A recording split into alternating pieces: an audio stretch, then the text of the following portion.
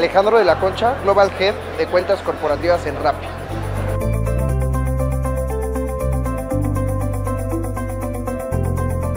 Para nosotros la segmentación de audiencias, o sea, es darle y personalizar cada estrategia a tipos de usuarios. ¿no? En Rappi es lo que hacemos, personalizamos, recomendamos, hacemos estrategias targeteadas dependiendo la zona, la ubicación, qué es lo que consume, cuáles son sus gustos, para que realmente esa persona sienta y sepa que es única. ¿no?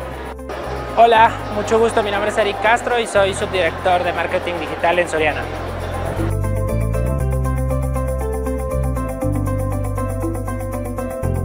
Pues desde mi perspectiva creo que TikTok ofrece un valor agregado diferente ya que te permite retener a los usuarios de una forma atractiva. Creo que todo el tema audiovisual que se puede generar a través de la creación de contenido y cómo trabajas en conjunto con los creadores de contenido, sin duda te ayuda a desmarcar de otras plataformas. Creo que la gran fortaleza de la red es ser completamente audiovisual, ser completamente auténtica y eso ayuda a que las marcas nos podamos posicionar de mejor forma.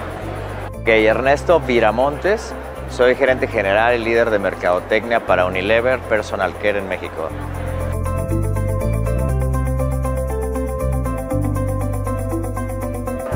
Para conectar con la generación Z, yo creo que lógicamente la obvia, la que todo mundo decimos, es la parte digital, ¿no? Sin embargo, hay que definir cuáles son esos puntos de contacto dentro de digital que donde hace sentido tu audiencia segmentada con tu marca y el propósito y el establecimiento de tu marca. Es una. Y sin duda para mí hay otra parte muy importante que es cómo trascendemos del plano virtual al plano físico. ¿no? Hoy la, las nuevas generaciones también tienen una necesidad de generar una conexión tribal con el resto de su generación, porque así ha sido siempre y porque además esta generación sufrió dos años de, encerramiento por la pandemia. Entonces hay un balance en el que tú los puedes conectar virtualmente de una manera difícil porque 67% de ellos tienen ad blockers, ¿no? no quieren saber de publicidad, pero tienes que hacerlo de una manera relevante, con creatividad, en el momento adecuado. Pero yo creo que hay una mezcla entre la virtualidad y el plano físico y cómo convive esa narrativa de, desde la A a la Z para esa generación Z en los dos, en los dos mundos. Farid de la Peña, soy vicepresidente adjunto de Publicidad, Medios y Patrocinios.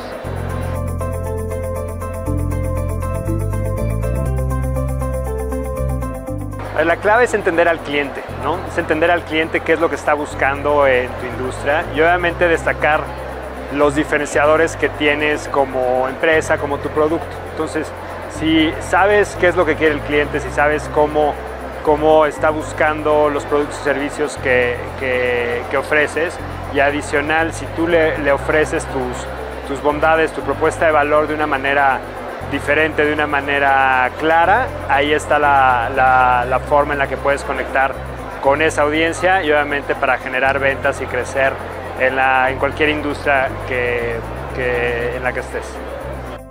Isabel Arceo, eh, soy Group Marketing Manager para la categoría de Chewing Gum en Mondelez Snacking México.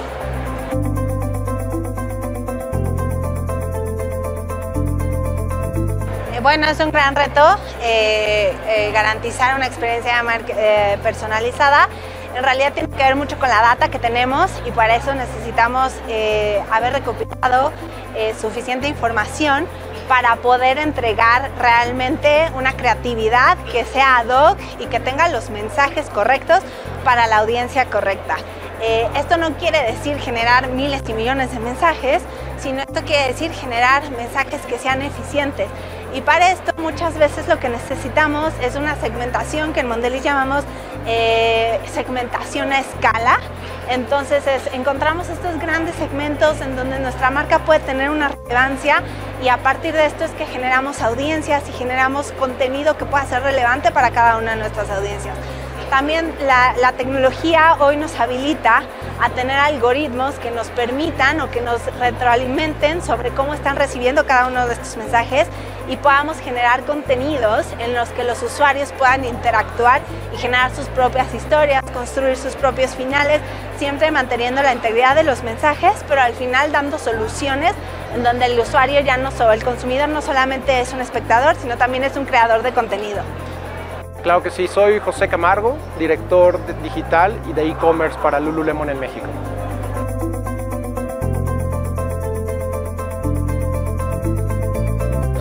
Mira, sin duda yo creo que eh, redes sociales y toda esta parte de influencer marketing son dos de los elementos eh, base para esta, para esta generación. Son, son una generación que vive en estas, en estas plataformas y creo que es mucho más sencillo para nosotros conectar a través de mensajes muy, muy, muy puntuales con esta, con esta generación a través de estos, estos medios.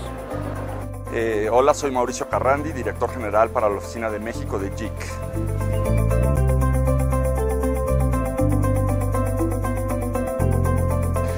Yo creo que se enfrentan a dos retos. A uno, a, eh, a, una cantidad brutal de información que a veces es difícil discernir cuál es la que te sirve. Y al otro es un entorno de, saturación de comunicación y de información eh, a partir de una proliferación de medios por todos lados. Yo creo que esos son los dos principales retos a los que se enfrentan las, eh, las empresas.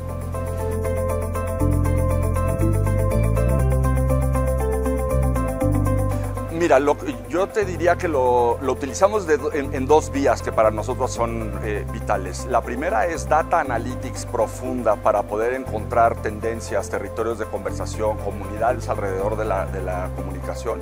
Y después una ejecución eh, pues, muy eficiente a partir de esa información de marketing digital en todos sentidos. Es decir, marketing orgánico, marketing este, eh, pagado, generam, generamos contenidos que pretenden tener un, un, earn media superior a lo que es el paid media. Entonces la, la, la, dinámica digital, la verdad es que yo creo que ya es un poco obsoleto hablar de digital o analógico. Creo que estamos en un mundo que ya está totalmente digitalizado. Hola, soy Mayra Alcántara, directora de comunicación y publicidad en Warner Bros. Discovery.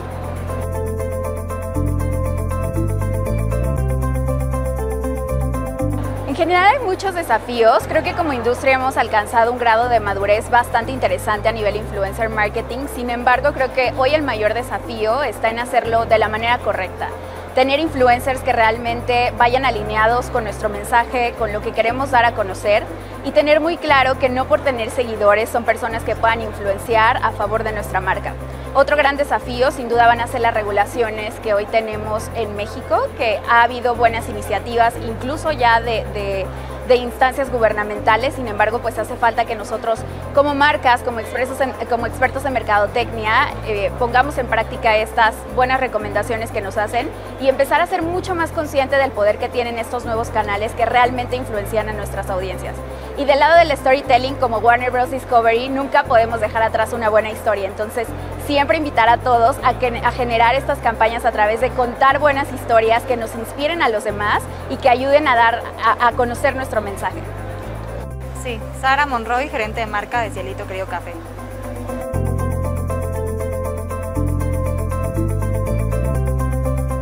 Bueno, en Cielito Querido Café el marketing digital es una parte fundamental para nuestra estrategia de marketing.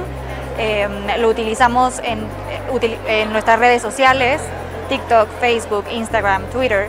Y eh, integramos también esta parte digital en nuestras tiendas con métodos de pagos distintos, pantallas para, para la parte de los menús.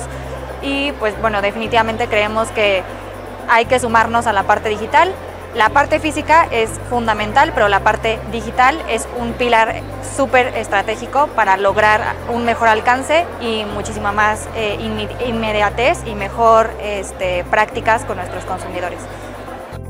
Sergio García de León, eh, portafolio Media Manager en Heineken México.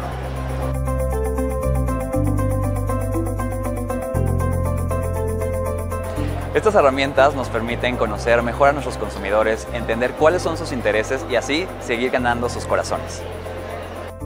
Leonardo De Centis, director de Mercadotecnia para Latinoamérica.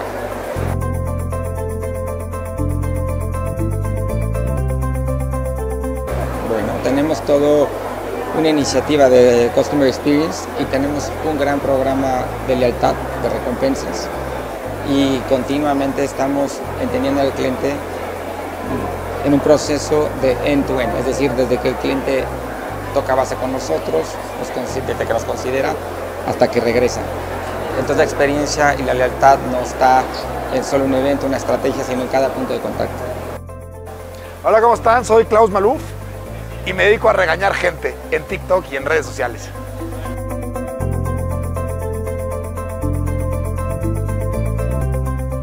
Bueno, está la primera métrica, ¿no? Que es la que todos los influencers vemos al principio, que es, bueno, cuánto, cuánta gente la vio, cuántos views tuvo. Pero más que eso, yo creo que la relación que logras hacer con la marca y que realmente logres compartir los valores que la marca quería eh, compartir con la gente, que lo logres hacer, creo que también entra eh, el éxito en la campaña. ¿no? Hice una campaña hace mucho con Sharpie en donde pintamos toda una pared de Sharpie y por más capas de pintura que le pasábamos a la pared, no se quitaba el plumón. ¿no? Entonces, ese tipo de cosas creo que ayudan a, que, a, que, a medir el éxito de las campañas. Hola, ¿cómo están? Yo soy Paco de Miguel, tengo 23 años y soy creador de contenido específicamente de comedia.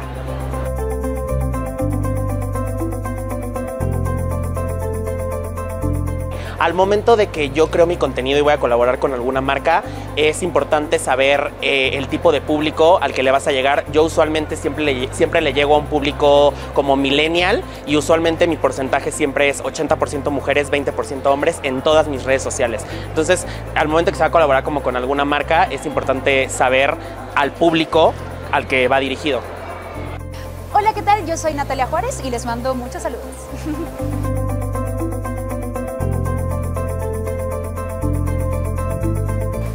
Afortunadamente en redes sociales ahora hay muchísimas maneras de medir si una campaña fue exitosa o no. ¿Cómo lo puedes medir?